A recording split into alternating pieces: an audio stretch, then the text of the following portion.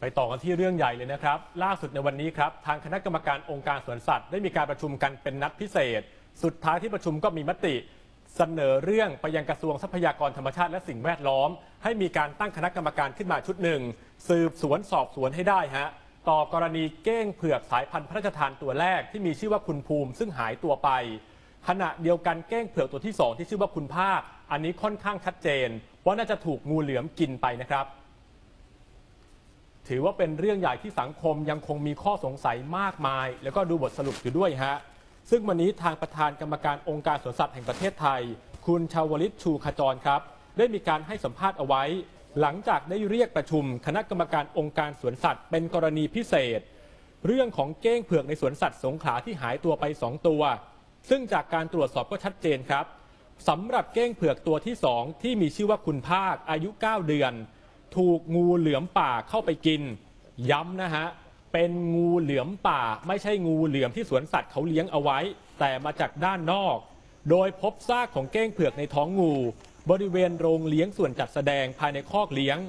โดยซากเก้งยังอยู่ที่โรงพยาบาลสัตว์ ของมหาวิทยาลัยสงขลานครินทร์อยู่เลยครับ ซึ่งจากการตรวจสอบยืนยันได้ว่า เป็นเก้งเผือกตัวที่หายไปจริง ขณะนี้อยู่ระหว่างการรอผลยืนยันทางวิทยาศาสตร์ พื่อให้เกิดความชัดเจนอย่างเป็นทางการ ส่วนเก้งเผือกตัวที่ 1 ก็คือคุณภูมิอายุ 2-3 เดือน ที่หายไปช่วงประมาณกุมภาพันธ์ จากการสอบถามข้อมูลมายังสวนสัตว์สงขลา ยังไม่ชัดเจนนะครับถึงสาเหตุการหายไป ถึงแม้จะพบซากเก้งในเวลาต่อมา แต่การตรวจพิสูจน์ DNA ยังไม่ชัดเจน ว่าใช่เก้งเผือกตัวที่หายไปจริงหรือเปล่า ดังนั้นขั้นต่อจากนี้ไปต้องทำการสืบสวนอย่างละเอียด โดยที่ประชุมจึงมีมติเห็นควร ให้ตั้งคณะกรรมการกลางขึ้นมาตรวจสอบเรื่องที่เกิดขึ้นโดยเฉพาะ ว่ามีการค้าสัตว์ป่าภายในสวนสัตว์สงขลาหรือไม่ รวมถึงสวนสัตว์อื่น ๆ ทั่วประเทศเลยนะครับ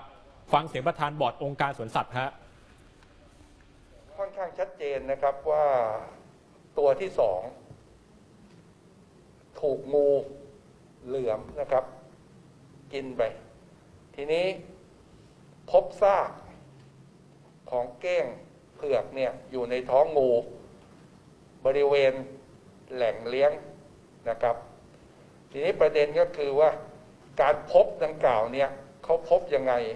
ทางคณะกรรมการก็แจ้งให้ทราบแล้วว่า พบอยู่ในบริเวณโพรง แล้วก็พอพบเจ้าหน้าที่ที่รับผิดชอบดูแลคอกเนี่ยก็ได้ดึงงูตัวดังกล่าวออกมา ปรากฏว่าความที่กิน เก้งเข้าไปเนี่ยมันทำให้โพรงที่มีขนาดเล็กเนี่ยพอกระชากออกมาเนี่ยท้องก็แตก ก็เลยพบซากเก้งเนี่ยอยู่ในท้อง ทางซีโอไม่ทราบ แล้วก็ได้ตั้งประเด็นในการลงไปตรวจสอบ ถ้ามันพบตั้งแต่แรกว่าเป็นเรื่องของการถูกงูกินไปเนี่ยมันก็ไม่น่าจะบานปลายถึงขนาดนี้ ก็ได้รับการ ยืนยันจากทางท่านผอสงขาว่า ท่านไม่ได้รายงานเรื่องนี้ให้ทางท่านซีโอทราบโดยตรง เพราะท่านเนี่ยเห็นว่ามันเป็นเป็นเรื่องที่ท่านต้องรายงานในรอบเดือนตามระเบียบอยู่แล้ว ส่วนการหาบุคคลมาดำรงตำแหน่ง ผู้อำนวยการองค์การสวนสัตว์แห่งประเทศไทย แทนคุณสุริยาแสงพงษ์ที่เสียชีวิต ขณะนี้ได้ตั้งคณะกรรมการสรรหาเรียบร้อยแล้วครับ พื่อเร่งสรรหาตัวบุคคลที่เหมาะสมมาดำรงตำแหน่งแทน ด้านการสืบสวนของทางตำรวจในพื้นที่บ้างฮะ ตอนนี้ถึงขนาดมีการใช้ 4 หน่วยงานทางตำรวจที่เกี่ยวข้องกับชุดสืบสวนเลยนะครับ ไม่ว่าจะเป็นชุดสืบภาค 9 ชุดสืบภูธรจังหวัดสงขลา ชุดสืบตำรวจกองปราบ และชุดสืบสวนกองบังคับการการกระทำความผิด เกี่ยวกับทรัพยากรธรรมชาติและสิ่งแวดล้อม เข้ามาตรวจสอบคดีนี้โดยเฉพาะ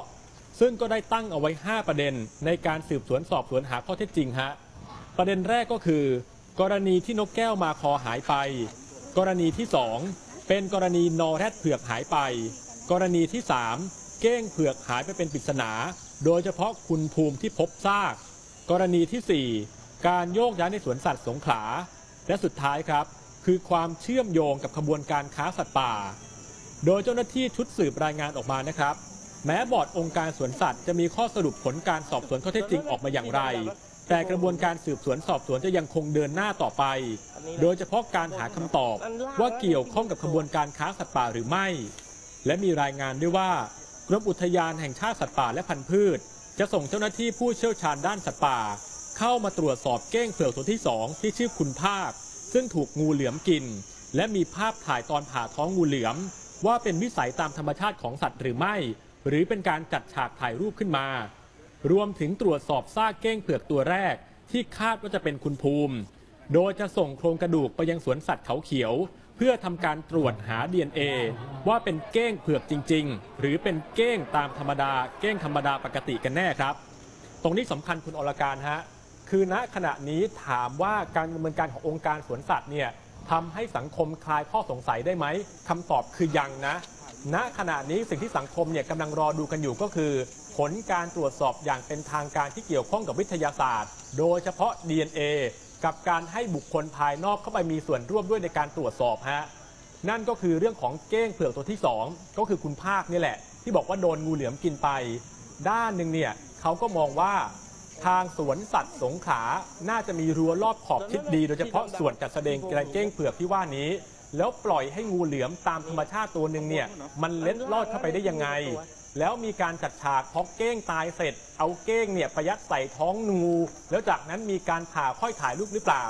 ทั้งหมดทั้งมวลนี้จะสามารถคลี่คลายได้ ก็ต่อเมื่อมีบุคคลภายนอกเข้าไปร่วมตรวจสอบด้วยนะฮะเนี่ยแหละขอบคุณที่ติดตาม TNN ช่อง 16 นะครับ และอย่าลืมกด subscribe กดกระดิ่งกันด้วยนะครับ เรายังมีวิดีโออื่นๆที่น่าสนใจอีกเพียบ และถ้าท่านไม่อยากพลาดการรับชมแบบสดๆ ก็สามารถติดตามกันได้ที่ Facebook TNN Live หรือติดตามช่องทางอื่นที่ง่ายและสะดวก เพียงแค่ท่านกดลิงก์ใต้วิดีโอนี้ครับ